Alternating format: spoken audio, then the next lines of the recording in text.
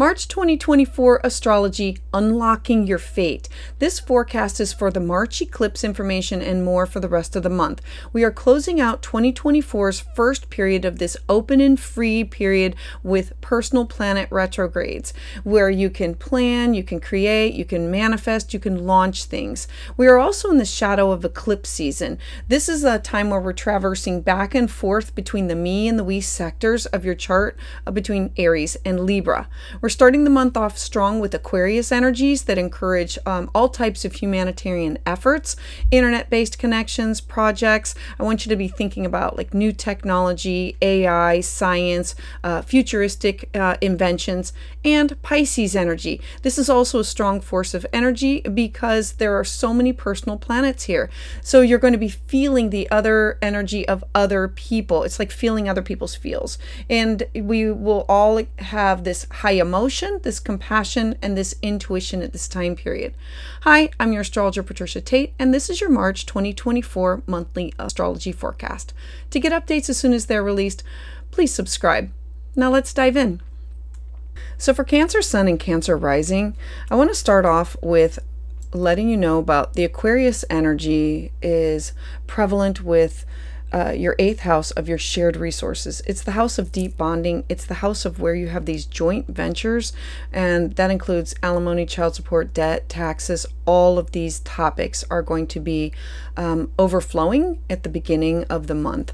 And also, I'm calling it a Pisces puddle of your ninth house because we have all of these planets here that uh, Pisces is watery and intuitive and psychic and it's dreamy and I want to go there. I want to connect up with that person. I want to have these cross-cultural experiences. I want to take that class. I want to take that workshop. I want to dive into that spirituality. I want to publish something. Uh, it could have to do with legal matters. Um, that's where your Pisces energy is. It's connecting with people far and wide and having these beautiful cross cultural experiences.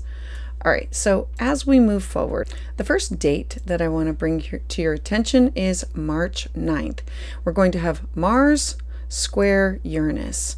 Now, Mars. Mars is fiery, passionate, and Uranus is shock and surprise. And so this is a lot of energy. A square is a 90 degree angle. It's where two planets come at each other with different elements, different energy.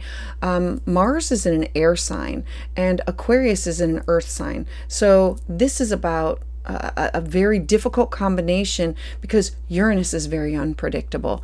Um, this could be rebellion. This could be sudden and erratic decisions with groups or networks that you belong to.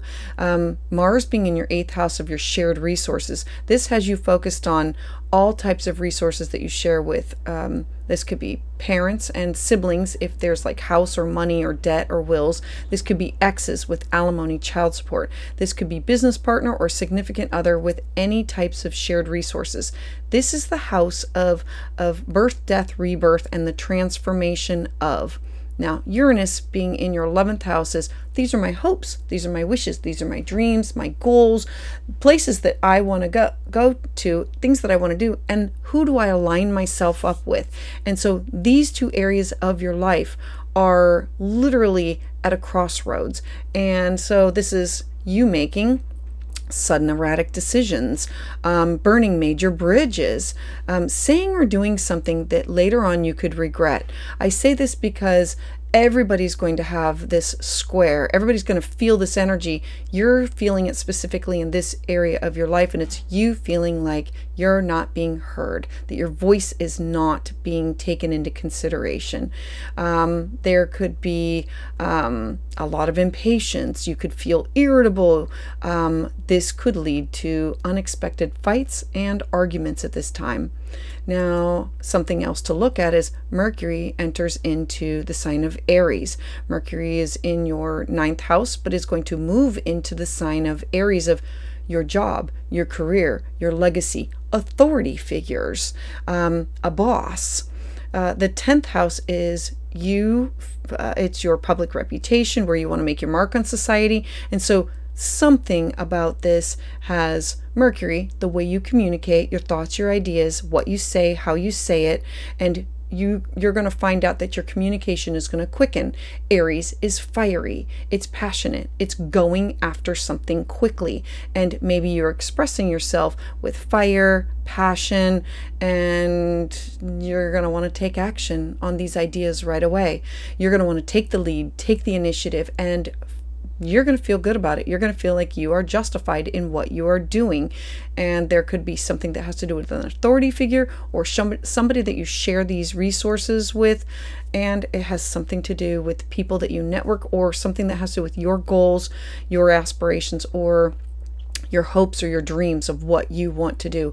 All of this together is forming a square in order for you to work out this energy. All right, so Cancer, on that day, use caution. All right, so then I want to move forward to March 10th.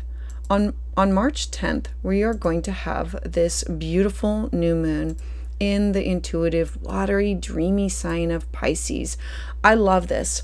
Um, new moons are fresh starts, clean slates, new beginnings. So you have this new opportunity to travel, to publish work, to take a class, to dive into spirituality, to have these beautiful cross cultural experiences, to find love with somebody who is foreign, to pursue these spiritual pursuits that are more um, in line with your heart and your soul and your purpose, to explore these creative pursuits that that will allow you to tap into your intuitive side. All right, then as we move forward to the 11th, we have Venus entering into the sign of Pisces, joining all of that watery stuff. I love this. Look, Venus loves to be here. Venus wants to bring people, places, and things together. Venus's goal is to unite, and it's about love. And so, uniting. Um, with love and relationships, feeling dreamy, feeling romantic, coming from a heart spaced energy. Um, maybe you're desiring more of a spiritual connection with people. Mm, this could be maybe you are looking into love with somebody that you've met from farther away, um, being more gentle, being more compassionate with yourself and with others in your daily actions.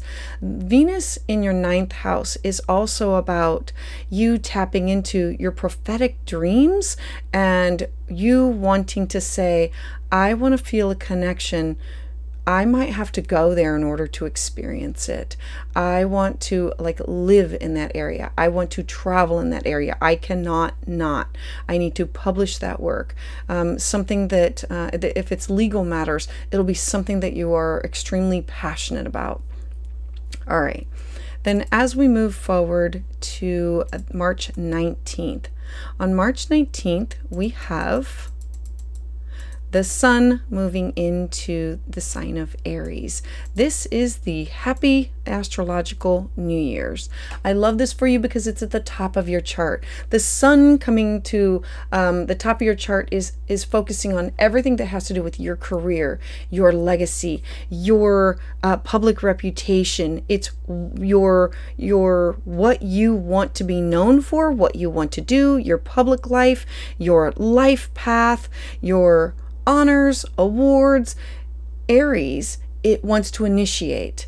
And so this can be a time where you're going to have this new energy, uh, new drive, new passion, new excitement, saying, I am now fired up. I now know what I want to focus on for my job or for what I, the legacy that I want to leave behind or how I want to be known for the uh, the awards or rewards that I want or feel that I deserve, taking the lead and pushing forward with those things. Then on March 22nd, on March 22nd, we are going to have Mars entering into the sign of Pisces. Now, Mars is fire and Pisces is water. Mars being passionate, fiery, wanting to initiate, and Pisces is redirecting that energy and saying, I want you to direct it inward and outward to bring people together. Think of one world, one nation, feeling connected to your dreams, your intuition, and wanting to have these, these cross cultural experiences with foreign people, places, things. wanting to take the initiative and say, I'm going to take that class. I'm going to take that workshop. I'm going to do the the take the dive into um, that class on a different religion or a different spirituality. I want to understand it and I want to go there. I want to experience it firsthand. That's what Mars moving into Pisces can offer you. And then on March 25th, we are going to have our first lunar eclipse of this year. Now, remember that eclipses, they um, bring hard and fast, quick paced changes. Um, a lunar eclipse is illuminating, the sun illuminates an area of your life where there needs to be some kind of closure, some kind of ending. Now, since the sun for you cancer is focused on your your job your career how people can see you there's going to be some kind of an ending, a culmination, a closure in the area of relationships that has to do with your home. This could be a child moving out, you moving out. Oftentimes, the eclipses in the fourth house can be eclipsing people, places, and things out of that location, and this is out of the home. So maybe um, a parent has moved out, or um, a child has moved out, or you are going to sell this home. This is going to be uh, a feeling giving you fullness of fruition. They're always surrounded with drama, and um, there's, you know, it's like big endings. And then exciting new beginnings after we get past the initial um, take your breath away. It's about hallmark energy offering you mm, an ending that uh, with balance Libra is the scales of the me and we and separating who you are in connection to family. Remember that the fourth house is uh, your ancestors, your foundation. It's also real estate and property and tradition. And so this could be an ending to a tradition or an ending to selling off property, selling off real estate, or an ending to um, understanding where your ancestral lineage came from. Like, aha, we finally have the answer. Uh, that'll bring you great closure. All right, so Cancer, I would love to hear your thoughts about this in the comments below. Please join me live on Tuesdays where I can offer full moon and new moon astrology consultations. For private consultation, you can schedule that at willowgracemystik.com. And to get updates as soon as they're released, please subscribe.